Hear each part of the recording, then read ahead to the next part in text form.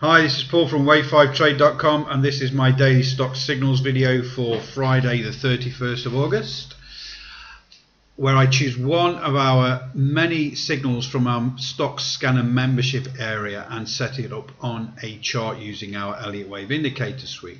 Uh, as usual on a Friday I'm looking for a longer term swing off a weekly time frame so in our members area our members would just click on the long fifth wave trades and click on the image to download today's spreadsheet.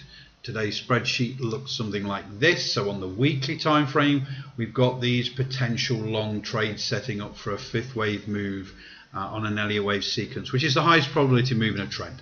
So let's have a look at just one of these, INTC on the weekly. So I'm using the Elliott Wave Indicator Suite from wave5trade.com for the NinjaTrader NT8 platform. It's also available for Multicharts, TradeStation and Thinkorswim. So first of all, where do we isolate this wave count? We are interested in the trend. We're not interested in any sideways action. This is the weekly time frame, remember, for INTC. So for this really long period, uh, in 2017 we were range bound and then we started to move out and we were in a trend. And we've pulled back against that trend now. So isolating at these lows at the end of this range bound period is the sensible place. And then our Elliott wave indicator suite automatically labels the Elliott wave sequence. So let's zoom in there and have a look at this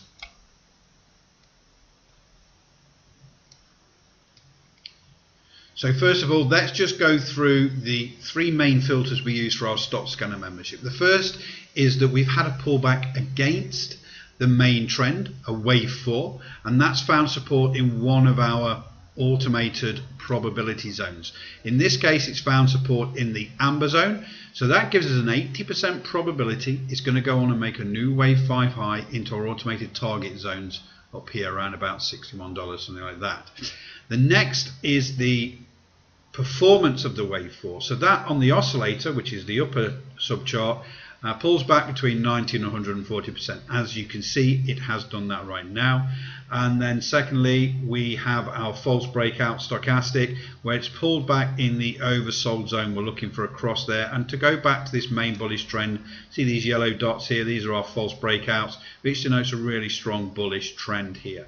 Also what I've done um, as well on this chart, just to show you, we also look at previous support resistance zones and just drawn that in there just to show you where this wave four has found really good support at previous resistance. This was a big price here for INTC to push through on the weekly and it did do it. So now we're looking for that same zone, that same price zone to hold as support.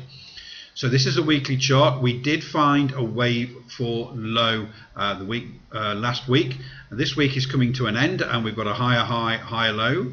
Despite a lot of volatility, volatility in the markets, this is grinding its way up.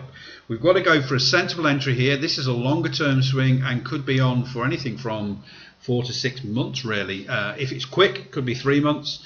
But what we're looking for is a sensible entry. We need to be outside of our 6-4 moving average high, the green moving average as part of our indicator suite here on the chart. So for next week's bar position, we need to be above there. We also need to be above the whole $52 mark. So the entry is just above the $52 mark at 52.04. This makes sure that we are well on our way and moved away from this wave four profit taking pullback over the last 10 or so weeks.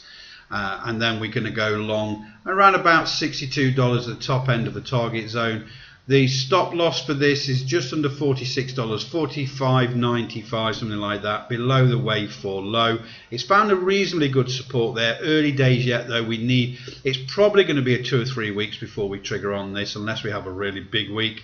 Uh, so that's it for today. Uh, really, really simple setup from our stock scanner membership using our Elliott Wave Indicator Suite, really simple to set up. Stop loss just below the wave four, sensible entry, uh, still gives us a great risk reward into our automated target zone there on INTC on the weekly. So have a great trading day, a great long weekend, and the videos will resume again on Tuesday after Labor Day.